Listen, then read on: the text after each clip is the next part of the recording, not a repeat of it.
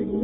ਪਖੜੀ ਮੇਰੀ ਥਾਣੇ ਦੇ ਵਿੱਚ ਬਦਲੇ ਤੇ ਮੈਂ ਦੋ ਲੈਣਾ ਨਹੀਂ ਮੈਂ ਡਰ